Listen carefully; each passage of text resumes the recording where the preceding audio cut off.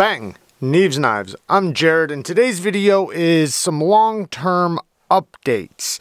And I'm just going to kind of talk, you know, and uh, talk about my experience with these knives and how they're holding up, etc. So this is the Twosun TS129. It got a really good review. Um, I do like this knife quite a bit. One of the reasons why I love this knife so much, um, well, first off, mine's an M390 milled titanium, really nice milling, perfect clip. I love this clip. It works so good. One of the best milled titanium clips. And then really, really well done carbon fiber. Twosun does a really good job with their carbon fiber. It's nice and contoured. Um, but one of the reasons why I loved it so much is because of its cutting performance. The ergos just, they melt in your hand. And when you get this choked up grip right behind the edge and you're cutting, if you look at the, the blade shape, it kind of, um, you know, I was calling it in the review, I think, uh, a drop foot. But, you know, it's a, basically a modified sheep's foot. But it kind of beaks out a little bit.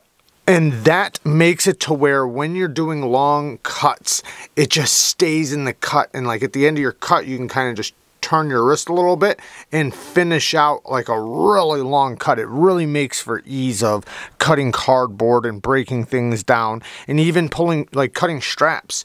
Because of the beak, you can snag behind a strap and pop it really quick. For utility cuts, again, you know, it's just so good for EDC. This is one of my favorite blade shapes for EDC, and that's why this thing was just so good for the review. Access to the lock bar is really good. The reverse flicking action is amazing. And then with the reverse flicking action, as good as it is, the thumb flicking action is just as good. The way that hole deployment goes with the chamfer around the hole, it makes it to where you have perfect leverage for a thumb flick. Then you have jimping for the front flipper. Front flipper works great. Now on the closing part, it's not the most false shutty or anything, but it's very smooth. It is still on ceramic cage bearings on a track, but this is one that is held up very, very, very, very well. Now the M390, mm, it's not the best. Um, it takes a really good edge. So sharpening and um, maintenance, you know, maintaining the edge, stropping, etc. It does really good with it takes I mean takes an incredible fine edge so it gives off the impression that it's going to be very well done M390 but the edge retention is just not there.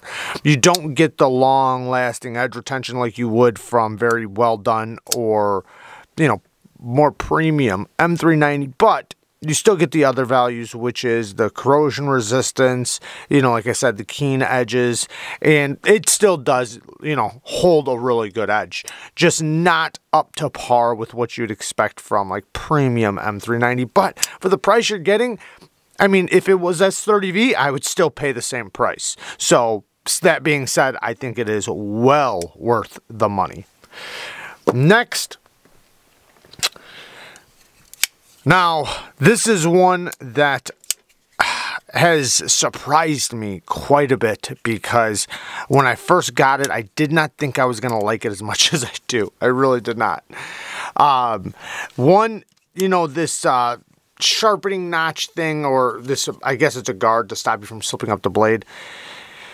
I don't like the look of it. Um, and I don't like things like that usually but I am coming around to it. I'll be honest, I'm coming around to it. But first off, S30V, FRN scales, deep carry clip, and they put these little uh, teeth right there to help getting it in and out of the pocket. They made a little landing zone for the clip to help it, you know, not tear your pants up. They do have an aluminum version that they just came out with this with on this model. So you can get this exact same model with aluminum scales. I almost bought it and the only thing that stopped me was when I watched a little thing on Knife Center, he kind of made it seem like the clip was going to be a pocket shredder on top of the G10 because they have, it's aluminum with uh, G10 inlays and I just, I felt that vibe from him when he was talking about it. Now the next thing that I didn't really like is this hole. It's not the, I wish it was a little bit bigger. It's just, you can do it. You can obviously flick it. I am right now.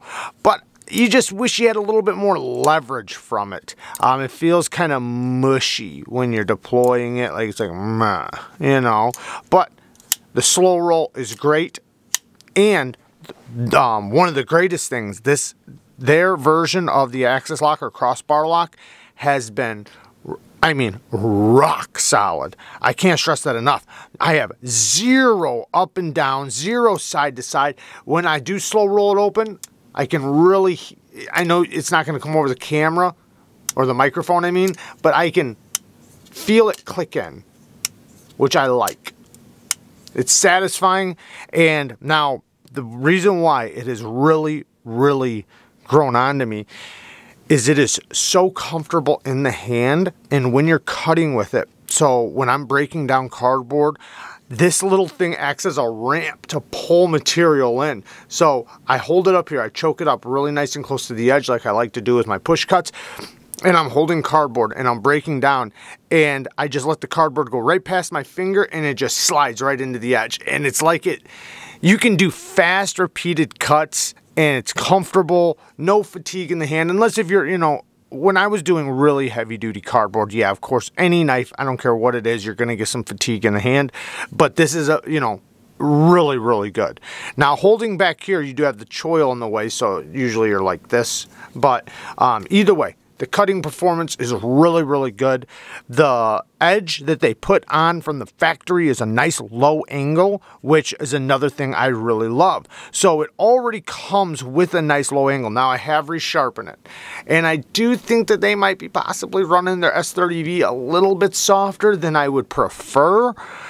But it's S30V, you know, it's fine. Not that bad, but just, you know, I do think they're running it a little bit softer than I would like. Either way, man, the cutting performance and just the workability of this knife, fantastic knife. I really like that one. Next, this new real steel. Um, so I've had some issues with this one. So one, um, oh, by the way, VG10. Now, what's cool about this is the titanium. They got this beautiful anodized um, titanium with the black coating. It does pop. And they have it in like a little bunch of little hidden spots. Like you see how it's polished right there on the lock bar access. Have a little a micro jimping on the lock bar. They got it in the clip. There's a lot of little details on this that just, it, it is really well done and it looks really good. The front flipping action does work well.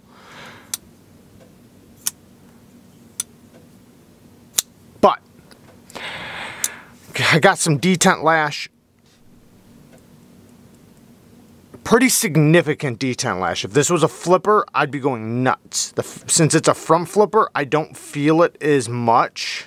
Do I need to... I think I need to tighten the pivot a little bit. Maybe not. Anyways. Um...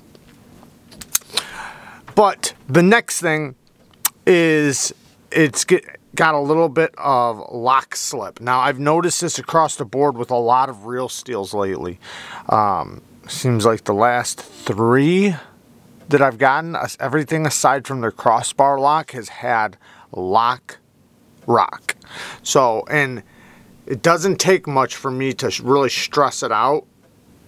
You can see it moving right there. So when I just go like this, and if I crank on it, I could probably get it to fail. I'm not going to do that, but I can, yeah, I can feel the lock bar budging and moving. So that's, you know, kind of a big deal. Not, I mean, I guess it's up to you if that's a big deal because does that mean it's going to fail on you? No, no, because when you're holding it, you're holding the lock bar, you're keeping it stronger. It's going to cut just fine. Um, and this is not this is not a hard use knife. This is not something that you know you you use in a hard way. You know it's just a light duty EDC that looks really good you know.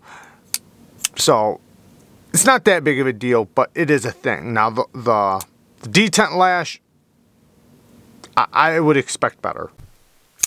Also for VG10 175 this is overpriced way too overpriced this should have some S30V S35 something like that um, even like 154 cm would be better. I know they put a lot of the work into the titanium, which is fine, but to have these couple issues, this is just, it's not acceptable for the price, and I think the price is just a little too high, you know, even without issues. Next, we have this Manganas Kizer Grazioso. Now this is the titanium version. I do have a full review on the the liner lock version. Um, and it got a good review. And surprisingly, because it's not really my style of knife, not even a little bit. Um, I don't like the plunge grind, you know, it's got this recurve. However, when you're using it, it, it's pretty cool because you have this recurve. So you you have the ability to get right tight to that edge and do these repeat cuts, kind of like I was talking about with the um, the Sig Sauer by Hogue. And that makes it to where it just kind of pulls materials in. And then it has this harpoon drop point style blade so you can still pull off utility cuts. This thing is ridiculously smooth. Oh, by the way, 20 CV steel, titanium, titanium milled pocket clip and backspacer, and then it's got shred carbon fiber. It is very well done, and it is a straight guillotine. They even put a detent ramp, so if you do hit the detent, I mean, you can just slide right past it. The action is really good. Fantastic action. So, so smooth, man. I mean, but I got a little bit of Lock Rock. So not much, and I don't think it's that big of an issue. Um, eh, you know, like I said before, you know, when I'm squeezing, you're not going to get anything like that because you're putting more pressure on the lock bar. But when I test it, I can feel it budging just a little bit.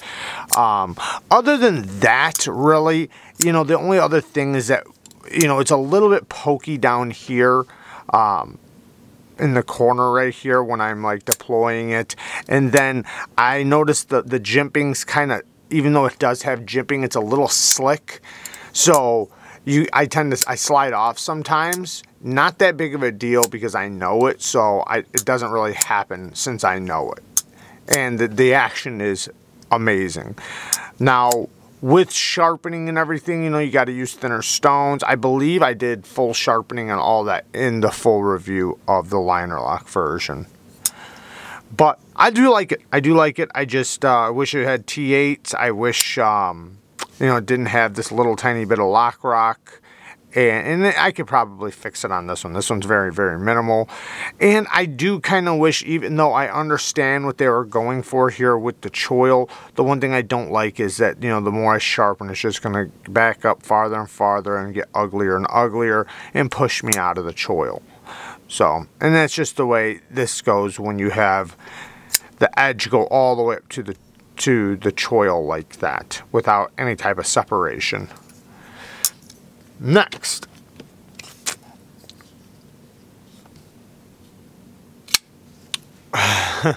so now we have the Hellraiser. The Red Horse Hellraiser. So there are custom versions of this that are in other knives that he has that are made in the USA. He is right here out of my area in, well, in Chicago. So I like that. Um, man, I should have cleaned this thing. I'm sorry, guys. Um, we're just gonna run with it. I'm sorry, it is filthy. Um, super comfortable in the hand. We have S35 VN blade steel, great access to the lock bar, stupid, stupid smooth. The action is just ridiculous. And the way it goes is you have such good leverage from the thumb stud and the blade is so damn heavy that once you break the detent, it just, it carries itself. And then the same thing on the, the clothes, since it's so heavy, it just carries itself. The action is really good. Um, somewhat addicting in a way because of all that leverage from the blade, you know, especially being so front heavy. Now, cutting with it, so comfortable in the hand. very, very comfortable. I love the way how it arches. It just follows my hand. That is amazing. Now, the downside, this is robust geometry, super thick geometry, and it makes it where it's very difficult to push this through materials. Lucky you do have you know, uh, such a comfortable grip. And if you're just using it for basic EDC, you know, opening things up, maybe cutting some cardboard every once in a while, you'll be just fine. No problems with that. But if you're planning on breaking down some cardboard long term in any way, shape, or form, it's going to be a little too thick for you. It would have been way better with a nice deep hollow grind and it would have looked a lot better. That would really make this thing pop. And I bet you a lot more people would even buy it if it had a nice deep hollow grind. But I do think that this is a little bit overpriced. So I understand the company is in the US, but he does have these made overseas. Now he has USA made versions of this for more money, but this one, this particular one's made overseas. Now they have button lock versions of this as well. But for around $250, for not much more, you can get a titanium knife made in the USA with premium steel, premium steel and premium handle materials. This you're getting S35VN, which is fine. You know, that's still a premium steel.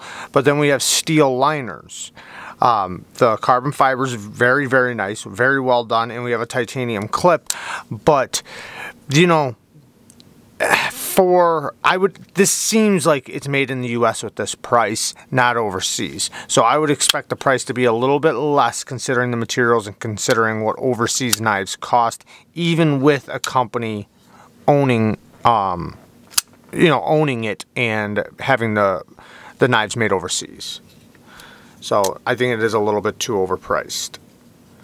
The S35 feels fine. Nothing really wrong with that um but, you know, I just, I do kind of wish it was a little bit thinner geometry because that also takes away, like, you struggle a lot pushing through materials, which seems to kind of make the edge go duller a little bit faster. I'm not going to push it on the, um, the, the actual steel itself, but more so the geometry.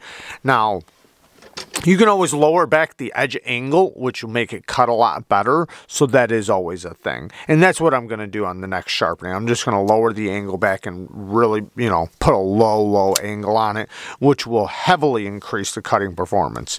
The clip works great, feels great in the hand. It's not deep carry, but it does work very well. Um, and yeah, uh, really well done carbon fiber. Now, the lock bar very delicate lock bar in a way. It's not it this is probably my biggest complaint aside from the geometry is that the lock bar feels very soft. It feels thin, it feels fragile. Um no play really. I'm sure if I really muscled on it, I could get it to to budge a little bit, but it feels very solid, but just when you disengage it, it's so soft. But as we know, it's not about the lock bar pressure, it's about the lock face geometry. And in this case, they, they got the lock face geometry pretty good, um, or really good. It just, you know, it feels a little bit delicate. Um, just the lock bar, the pressure, how thin it is, so on and so forth. But the lockup's really solid, so no issues. Next, the Sidewinder, the Twosun TS341 Sidewinder.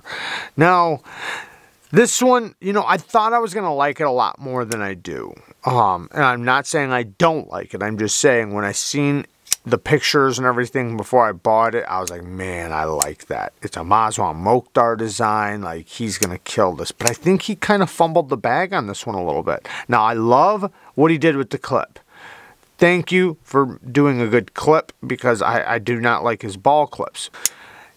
I don't know, something about it, it just doesn't have that level of smoothness you want. The front flipper, it works, it works fine, but it's only up here. So you have to put your thumb on top of it and then put pressure straight down and then back. It'd be better if they put a little bit right here too so you could get it in the front, you know. And in this case, there's no jimping here on the front. I mean, I can flick it there, but there's no jimping. I'm just using pressure, which I would prefer if it had a little bit of jimping. Now, it's fine. I can, you know, it flicks, but just like with the reverse flicking action, it works just fine. It's just not that satisfying. The detent is not that great. It works, but I don't know, it, it kind of feels a little bit off. Something about it. I really can't put my finger on it. I think it's just the smoothness really needs to, maybe it'll break in more over time, but I thought it would have by now and it hasn't. But when I first got it, it definitely was a lot more grittier than it is now. Um, and it's just like the the detent ball breaking in through the the the coating but it is D2 Lots of billboarding. Not a big fan of that.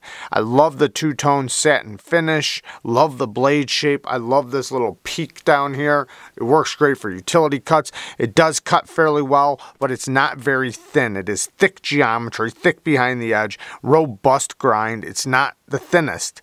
So that's another thing, you know, I wish it was a little thinner.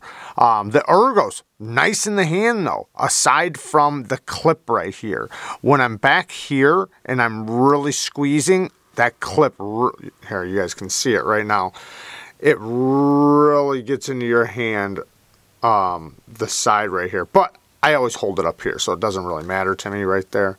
I usually hold it like this. Anyways, I do like the knife, but I thought I would like it a lot more. Um, I'm just not that impressed with it. It's not something that ends up in my pocket a lot. It's not something that I, I just overwhelmingly enjoy. D10 could be better. The, the action could just be better. The jimping could be better. And yeah, that's about it. And the geometry could be better. So that's the end of the video, guys. Thank you guys for watching. Peace.